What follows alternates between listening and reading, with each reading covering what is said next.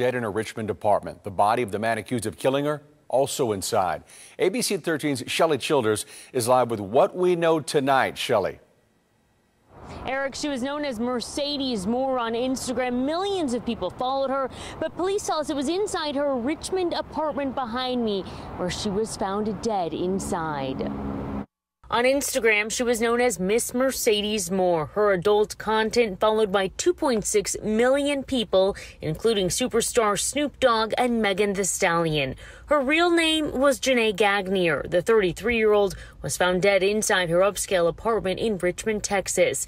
Police say they were called to this quiet complex for a welfare check Sunday. Inside the apartment, they found Mercedes Morr and another man believed to be the suspect who killed her, Kevin Alexander He was also dead, police calling it a murder suicide. Investigators say there is no relationship between Mercedes and the suspect, telling us his last known address was in Florida.